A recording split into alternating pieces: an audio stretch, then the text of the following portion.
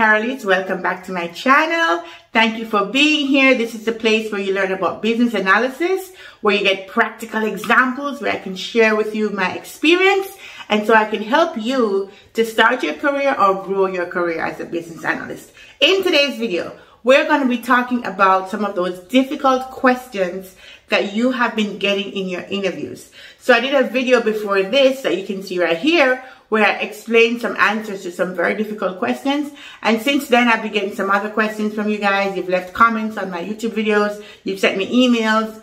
You've reached out to me and you've given me some examples of what you're being asked in these interviews. So I'm going to go through some of those comments and I'm going to answer for you some of those very difficult questions they've been asking y'all. And I'm going to share with you how you should answer them so that you can be prepared for your next business analyst job and land that job. I am rooting for you, okay? I'm to help you. I got you. I got you. Okay? So, without further ado, let's get started.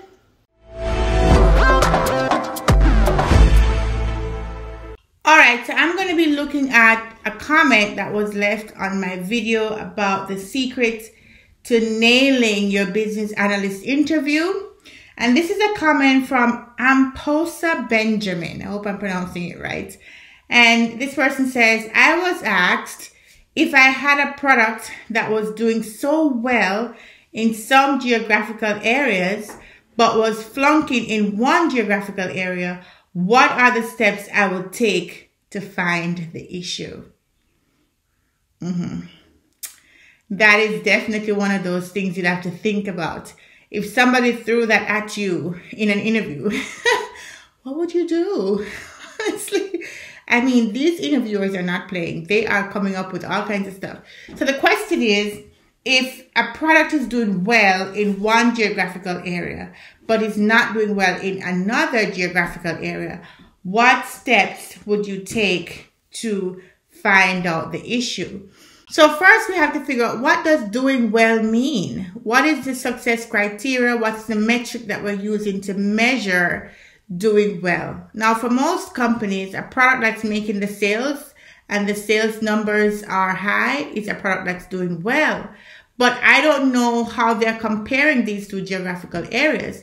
Are you saying that within this area, we were comparing um, how much it did last year versus what it's doing this year, or just across its competitors, it's doing well versus not, right? So it, it's also important to know what is the, how are they comparing this? But let's take, for example, that we say it's just making more sales. The volume of it is higher in one geographical area than the other.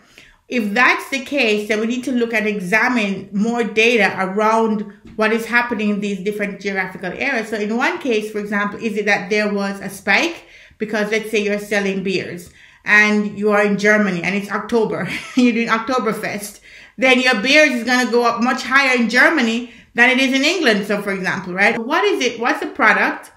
What is happening in that geographical area that's maybe causing the spike or the decline in the sales?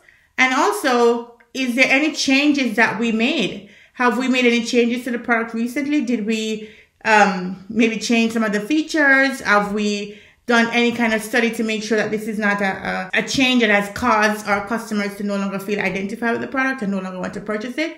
So these are some of the things I would look into if I see there's a geographical change. And also, when you think of geography, you always think of languages, you think of cultures. Is there something about the culture that could be causing that product not to do well?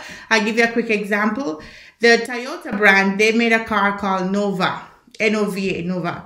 So it did well in parts of different parts of the world. Is your car up to it? We can tell you about our Chevrolet Nova. Last year, Motor Service and Service Station Management magazine surveyed independent mechanics, and Nova was voted the car with the least mechanical problems.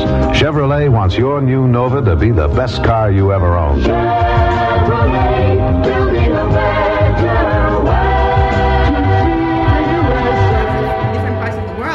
But in the Spanish speaking speaking world, it did not do well because the car named Nova in Spanish means does not go.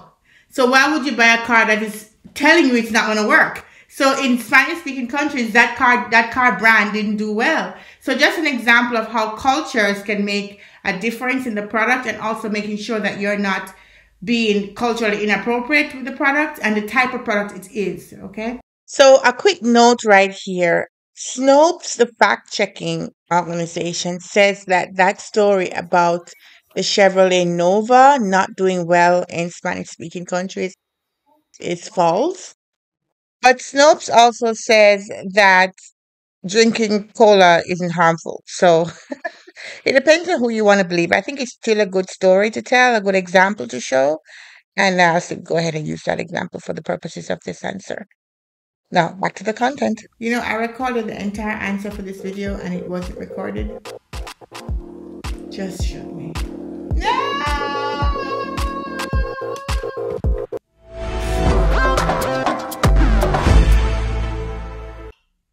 So here we go. The type of product could cause it to do better in some geographical areas than others. So if it's, for example, a product that's very good for the summer, like ice cream, sunscreen, flip-flops, those will sell well in tropical areas or will sell well in the tropical months. But you can't sell flip-flop, for example, in Alaska because in the colder months it's not gonna it's not gonna be sold as much. And so you need to compare to see was this product always doing well?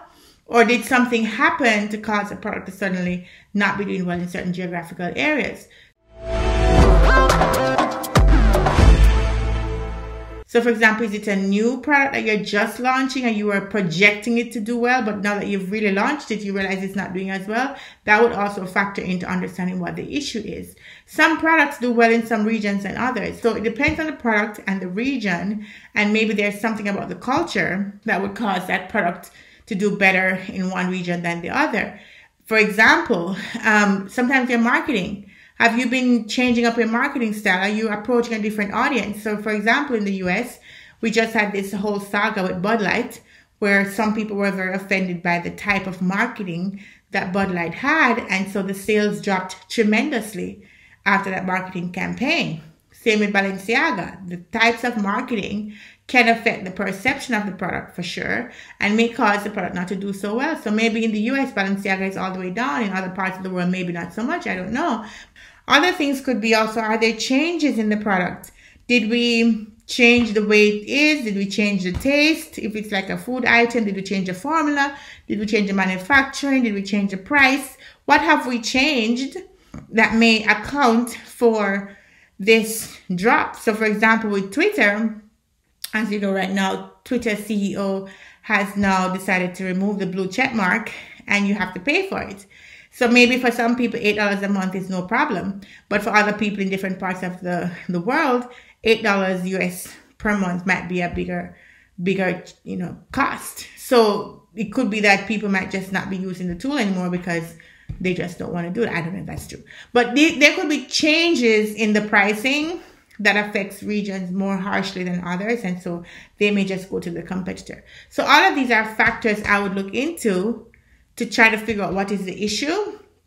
And in general, it would be based on product, based on the region, based on culture, and based on any changes that we have made and also our marketing. So again, this is a long answer, right? You don't have all this time in the interview.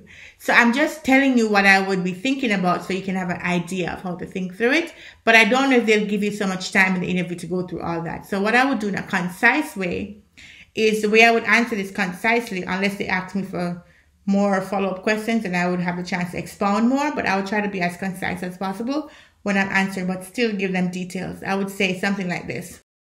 The first thing I would want to find out is what is the metric you're using to measure success?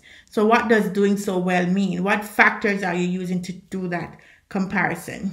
The other thing I'd look at is, are you comparing across years? Have the product always done well in these regions? Or are you comparing across competitors to see are you doing well compared to the competitor? Or are you comparing against time? So those are some of the things i would look at to see what is the comparison that you're doing to come up to figure out that it's not doing well in these different geographical areas. I'd also want to look at the culture. Maybe it's a cultural component because of the geography that maybe one thing does well in one culture than the other thing. I'd also look at um, if there's any seasonal thing going on. So if your product is more attractive in a particular season is it because the seasons are changing and that's why you have this? Is it a new product? So maybe you projected what you thought would be the sales, and when you actually put it out there, you realize it's not doing so well in this area versus the other. So those are some of the considerations I would look into to try to find out what the issue is. There you have it. So something like that. And if they want more, you can follow up with more. Okay? That's how I'd answer that question. Now, the other question, the question goes on. So this person really gave me a lot to answer. The other part of the question was imagine you have to present some ideas to the stakeholders in different countries. And you will need their opinion on which ones to pick moving forward. So I don't think the question is worded right, but the gist of what she's asking is if you have to talk to multiple stakeholders in different countries and you need them to make a decision on multiple options, so they need to choose one of those options, how would you do it, right? So if they throw that question at you, what would you do? well, the first thing is it shouldn't matter that they're in different countries because stakeholders are um, basically they have the best interest in what it is that you're doing, the best interest in the product, and you should be talking to stakeholders to understand what their expectations are. So if it depends on the country, then you'd note that. But really, having a conversation with stakeholders right now in a virtual world, you can always do a Zoom meeting. Everybody can join. The geographical separation doesn't typically make a big difference. Only thing it would make a difference in is the requirements that you're going to gather from them. So if you need their opinion on different items, then what I would do as a business analyst is I would make sure to research very well what are these items make sure I have a clear picture of what the pros and the cons of each decision would be and each option would be to make sure that when these stakeholders come to the table and they have questions about the different options, I can be able to answer them or I have people in the room who has the information to give them. Because different time zones and different countries, you may not be able to pull a meeting with these people together very often. So you don't want to meet with them and then have to re-meet to, to go back over things. So you want to make sure you facilitate the meeting properly. You have the right people in the room. You choose a time slot that would be appropriate for each of them in the different countries that they are in so they can all be there. Hopefully you can find some time that is at a decent hour that overlaps in everybody's time zone. And so you go into the meeting with pros and cons for each option. And then you also have your own recommendation that you'd like to suggest, but you'll take their individual feedback, you'll ask probing questions, and then you'll be able to help guide them towards the best choice. That is how I would help stakeholders to help them make a decision on, on different options. Right? So that's just the gist. That is the gist of how you would answer a question like this. Right? They mention that's different countries because they want you to be aware of maybe things like time zones and language barriers and all these different things. And it is your job to facilitate the meeting, but you're not a miracle worker, right? They all have to speak the same language or have some way to understand each other. And your job would be to clarify and to ask probing questions and to make sure that we all walk away from this meeting accomplishing something, understanding what needs to be done, and having a clear picture of the road ahead, right? So that's that's the gist of having these stakeholder um, discussions. And because it's multiple stakeholders, it would generally be like a workshop setting or a, a group meeting setting, right? It wouldn't be a one on one interview because it's a group of stakeholders.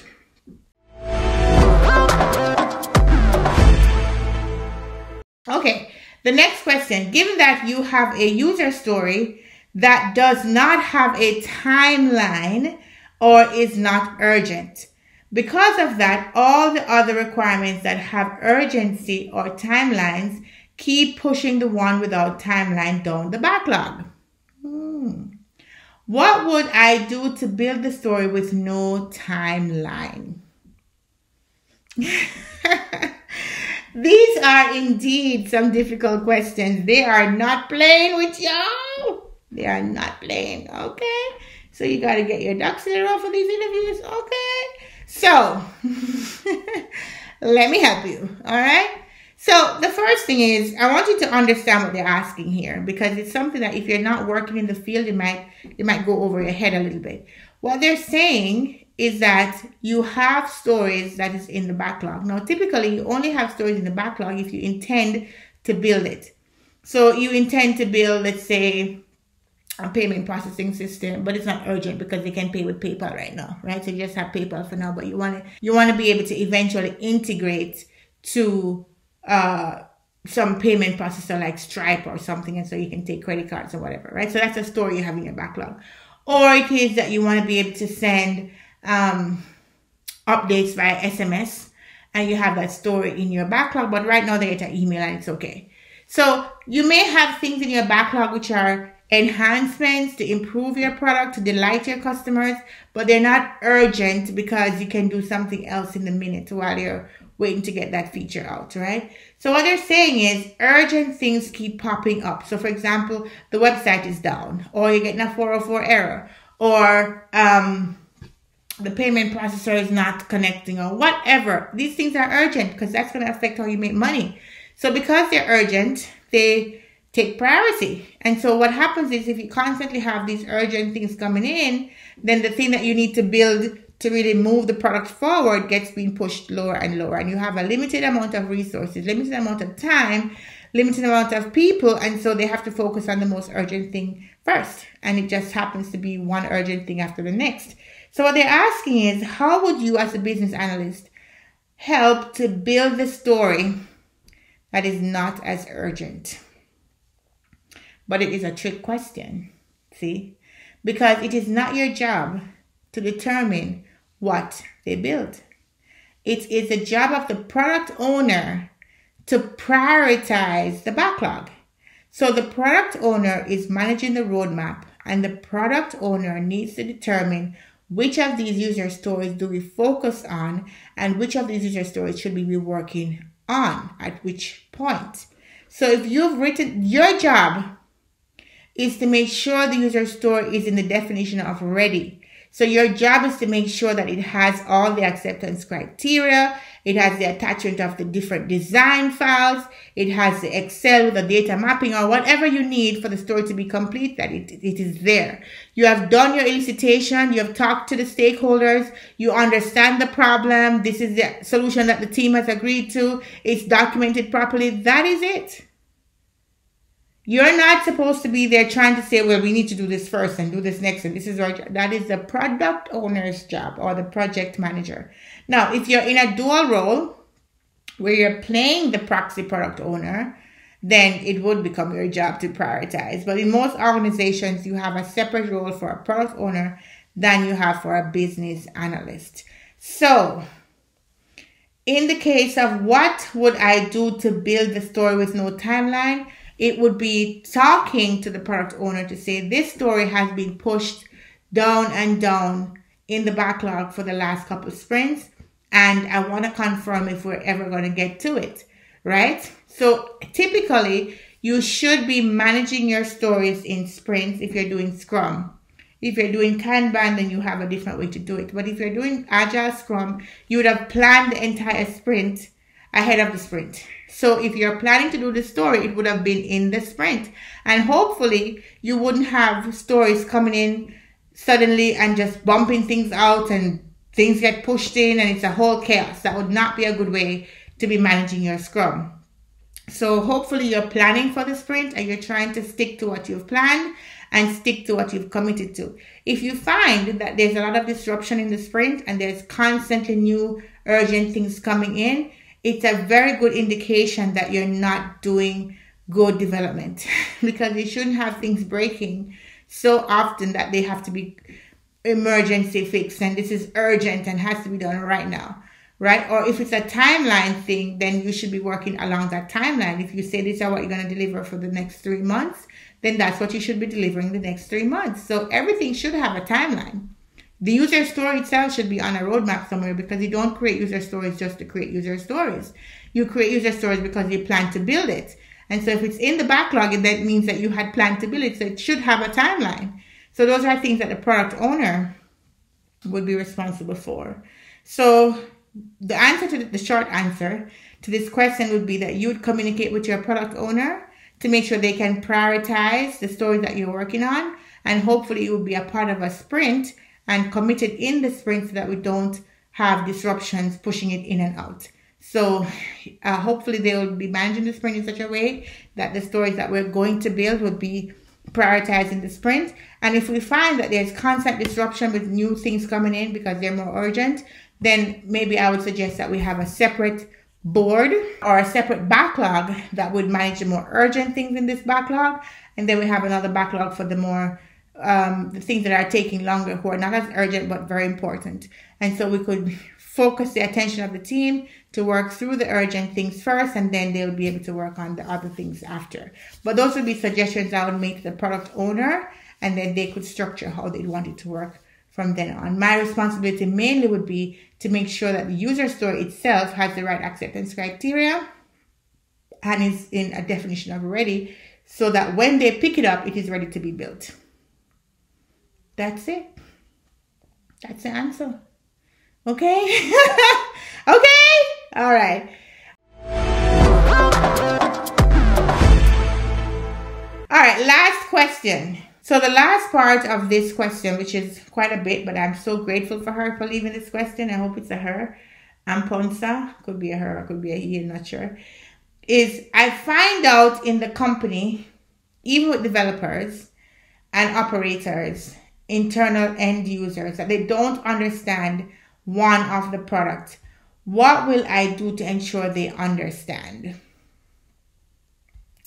Yes. So the question is that the people in the organization, even the supposed subject matter experts, the developers themselves, the end users, they just don't understand the product. How will you, as a business analyst, help them to understand? Well, first of all, it's really a bad sign if developers don't understand the product, end users don't understand the product, operators don't understand the product. I mean, it means that we have not done a good job of making sure the product actually is solving a real problem because if it was solving a real problem, they would understand it. But in the event that we may be something new, it may be something integrated, maybe there are pieces of it that they understand, other pieces that they don't, they don't see how it all comes together then your job as a business analyst is to help to facilitate that understanding. So some of the ways that you can do that is for the internal staff, such as your developers and your uh, operators, you would have workshops with them to walk through the product to show what it does and why it does it, the business case it's applying to, and just basically have a hands-on session so they themselves can get in the product and feel it for themselves, and that way they'll remember it also, you could work with your um, your technical writer if you have one, so they could write documentation around the product, such as help files, release notes, things that would help the team to have some kind of reference for them to understand what the product is intended to do. And also, if you have a marketing team, you could also help with the marketing information so that they could be updated as well on the websites, etc. For the end users, you'd work with the marketing team so they could start you know, market to them and give them information, maybe email newsletters about the product. You could also help wherever you can find a place to put maybe hover over text to explain what these different fields might mean. Maybe you suggest doing that from the product owner, they could build that in. You could also have documentation available online so even end, end users can go find the documentation. Um, and also little walkthroughs. So if it's possible to put a walkthrough in the product so they can get a tour basically of the product as they go into it to help them to understand what it's supposed to be doing, then that might be helpful as well. So there are different tools that you can use depending on whether it's an internal customer or end user to help them to get up to speed and to understand how to use the product.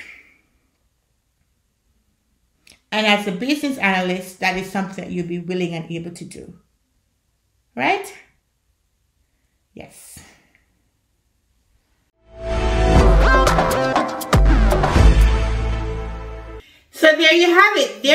Y'all. That was the video explaining to you how to answer these very difficult business analyst questions that you guys are getting in your interviews. I hope this video was helpful for you. I hope that you're able to learn and to adapt so that when you get your question, you have the skills to be able to apply some of what we shared in this video. Please go check out my website, karaleise.com where I have some examples of interview questions that you can use to practice, where I share with you a whole training free of how to prepare for the interview and also check out the playlist that I have on business analyst interview prep. All right, so thank you guys for staying with me to the end and I will see y'all next time. Bye bye.